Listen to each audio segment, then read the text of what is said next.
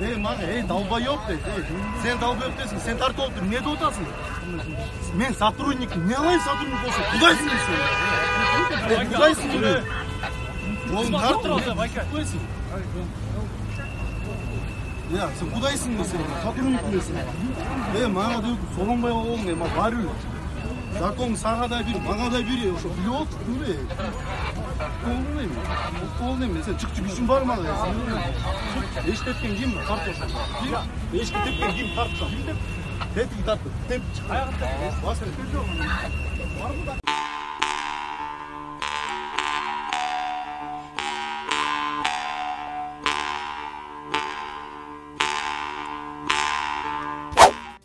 жогорку кеңештин депутаттары онунчу январда референдум жарыялоо боюнча кол топтой башташты бул тууралуу депутат дастан бекешев элдик депутаттын ойлору телеграм каналы аркылуу билдирди. Бирок бекешев мыйзам долбоору боюнча толуктоолор киргизилгендиги жөнүндө маалыматы жок экендигин белгиледи буга чейин президенттин милдетин аткаруучу премьер министр эми президенттикке талапкер садыр жапаров референдум өткөрүү жана баш мыйзамга өзгөртүү киргизүү жөнүндө бир нече жолу айткан. Депутаттар буга чейин алтымыш кол топтошкон. Мыйзамга өзгөртүү киргизүү үчүн сексен депутаттын колу керек. Булак кыргыз тудей. Гумдун ичинен табылган шектүү делген баштыктан тамак аш табылды бул туурасында укмкнын маалымат кызматынан кабарлашты. Эске салсак саат он алты он чамасында милицияга соода борборунан шектүү баштык көзгө урунганы боюнча маалымат келип түшүп ошол замат атайын кызматтын жана милициянын өкүлдөрү ал жерге чыгып кеткен. Имарат ошол замат курчоого алынган. Баштыктын ичинен тамак аш чыкты деп билдиришти укмкдан. Спутник кыргызстандын кабарчысы окуя болгон жерде жүрөт. Ал имараттын курчоосу алынып болжол менен саат он тогуз ноль нөлдөн тарта соода борбору кайрадан иштей баштаганын билдирди булак спутник kg социалдык фонддун аппарат жетекчиси акылбек байдылдаев аймактык бөлүмдөрдүн жетекчилеринен мыйзамсыз түрдө каражат чогулткан деген шек менен кармалды бул туурасында укмкнын маалымат кызматы билдирди коррупцияга каршы күрөшүү кызматы сотко чейинки өндүрүш ачып соцфонддун кызмат адамдарынан турган топ өзүнө караштуу аймактык бөлүмдөрдүн жетекчилерин мажбурлап системдүү түрдө тынымсыз акча жыйнап турганын аныктаган тергөө маалында мыйзамсыз иштерди уюштурган социалдык фонддун аппарат жетекчиси экени белгилүү болду ал ар бир аймактык бөлүмдөн ири суммада акча жыйнап турган анын тапшырмасын аткаруу үчүн кээ бир жетекчилер соцфонддун эсебиндеги каражатты ар кандай чыгымдарга жумшалды деп чыгарып берүүгө аргасыз болгон деп айтылат. Мындан улам коррупцияга каршы күрөшүү кызматы жазык кодекстин токсон сегизинчи беренеси менен аппарат жетекчисин бүгүн он жетинчи ноябрда кармаган. Ал укмкнын убактылуу кармоочу жайына киргизилип тергөө жүрүп жатат бардык мамлекеттик кызматкерлер кайрадан аттестациядан өтүшөт деп билдирди. Өкмөт аппаратынын жетекчиси бактыбек аманбаев. Мамлекеттик органдарды реформалоо боюнча ведомстволор аралык комиссиянын отурумунда. Анын айтымында бул иш эки айдын ичинде жүрөт. Ага чейин комиссия мамлекеттик кызматкерлерди тандоонун түзүмүн бекитиши керек. Комиссия тандоо түзүмүн бекиткенде. Жаңы түзүмгө ылайык мамлекеттик кызматкерлер бошотулуп кайрадан сынактын негизинде кабыл алынат деп түшүндүрдү аманбаев.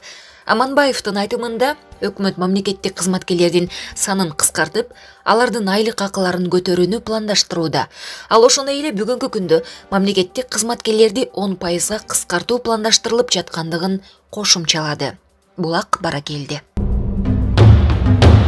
өкмөт финансы насыя уюмдарынан насыя алгандарга мамлекеттен колдоо көрсөтүү тууралуу токтом кабыл алды. Маалыматка ылайык быйылкы жылдын биринчи октябрына чейин жүз миң сомго чейинки суммада насыя алгандар үч айдын декабрь жана келерки жылдын январь февраль айлары үчүн үстөк пайызын төлөөдөн бошотулат эгер ал адамдын башкадай финансы насыя уюмунан алган насыясы бар болсо ал бирөөнү гана тандашы керек болот мындай жеңилдик кредиттик союздан лизинг компаниясынан жана ломбардтан карыз алгандарга берилбейт кыргызстанда банкдардан насыя алып бирок кайтарып бере албай калган жарандардын маселеси олуттуу социалдык мүшкүлдүктөрдүн бирине айланган буга чейин алардын өкүлдөрү бир нече жолу акция өткөрүшкөн өлкөдө жыйырма эки коммерциялык банк бар. Чакан насыя уюмдарынын саны жүз кырктын тегерегинде булак факт kg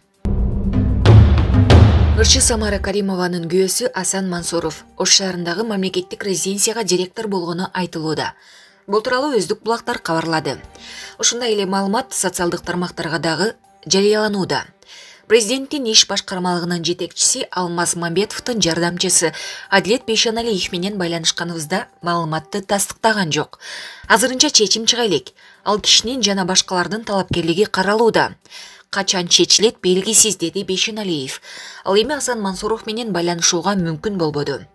Белгилей кетсек төртүнчү октябрда өткөн парламенттик шайлоодо асан мансуров биримдик партиясына жан тартып жүргөнү айтылган. Булак репортер кейжи бүгүн бишкектин тез жардам кызматына а класстагы жаңы алты унаа тапшырылды. Бул тууралуу мэриянын маалымат кызматы билдирди россиядан чыккан соболь маркасындагы унаалар көп профилдүү тез жардам тобуна арналган унаа техникасы баардык зарыл болгон дарылоо диагностикалык жабдуулар менен камсыздалган анда бейтапка кычкылтек берүүчү аппарат электрокардиолографалар небулайзерлер жана дарыларды сактоочу чемодан бар. Эми бишкек шаардык саламаттык сактоо башкармалыгынын автопаркында элүү төрт транспорт болду. Орточо алганда шаарда күн сайын отуз бир отуз төрт ирет тез жардам кызматына чакыруу түшөт. Унааларды шаардын социалдык саясат боюнча вице мэри айжан чыныбаева тийиштүү мекемеге өткөрүп берди. Атайын транспортту вираж компаниясы алып келген. Тез жардам унааларына каражат шаардык бюджеттен каралып он үч миллион сом сарпталган. Эске сала кетсек июнь айында шаардык саламаттык сактоо башкармалыгы а класстагы алты тез жардам унаасын сатып алуу боюнча тендер жарыялаган. Булак спутник kg ноокат районунун кара таш айыл аймагынын кире беришине арка куруу үчүн тогуз жүз тогуз миң токсон тендер жарыяланды бул тууралуу мамлекеттик сатып алуулар порталына он жетинчи ноябрда жарыяланды тендердик сынакка катышууну каалагандар экинчи декабрга чейин тапшырык берүүсү керектиги жазылган булак репортер kg бүгүн он жетинчи ноябрь күнү талас облусунун жол кыймылынын коопсуздугун камсыз кылуу бөлүмүнүн кызматкерлери тарабынан айдоочуларга профилактикалык иштер жүргүзүлүп жатат. Бул тууралуу аталган бөлүмдүн тескөөчүсү озакбек мураталиев билдирди. Анын айтымында аба ырайы кескин өзгөргөндүктөн жолдор тайгалак болууда. Биз бул жумадан баштап профилактикалык иштерди жүргүзүп ар бир айдоочу турган жерде чогулуш өткөрүп жайкы дөңгөлөктөрдү кышкыга алмаштыруу зарылдыгын айтып жатабыз. Жолдо азыр абал кооптуу узак жолдо жанына коопсуздук чараларын сактап керектүү тетиктерди алуу эскертилди деди ал. Булак турмуш kg биринчи май райондук сотунун тергөө кызматы ак үйдүн тосмолорун уурдап аларды саткан жаранды издөөдө бул тууралуу маалыматты бишкек шаарынын ички иштер башкы башкармалыгы билдирди. Маалыматка ылайык сотко чейинки кылмыш иши урлук беренеси менен козголгон. Учурда тиешелүү тергөө иштери жүрүп жатат. Эске сала кетсек буга чейин соц тармактарга ак үйдүн темир тосмолору сатылып жаткандыгы тууралуу маалыматтар тараган. Ал эми тосмо алтынчы ноябрда алынган. Булак элдик медиа ош облусунун чоң алай районунун акими кызматына өскөнбай мамажакыпов дайындалды бул тууралуу марал радиосуна жеке булактар кабарлады. Өскөнбай мамажакыпов баткен облусунун прокурору кызматын аркалап турганда каза тапкан анарбай мамажакыповдун бир тууган иниси анарбай мамажакыпов эки миң он сегизинчи жылы он жетинчи ноябрда колдуу болгон. Чоң алай районунун буга чейинки акими жумадилла жапаров ээлеген кызматынан бошотулганын бүгүн өкмөттүн расмий сайты кабарлады. Тиешелүү буйрукка садыр жапаров кол койгон. Бирок бир канча мүнөттөн кийин бул жаңылык өкмөттүн сайтынан алынып салынды. Басма сөз кызматы мунун себебин түшүндүрө элек. Жумадилла жапаров эки миң он бешинчи жылдын июнь айынан тарта чоң алай районунун акими болуп иштеген. Булак марал фм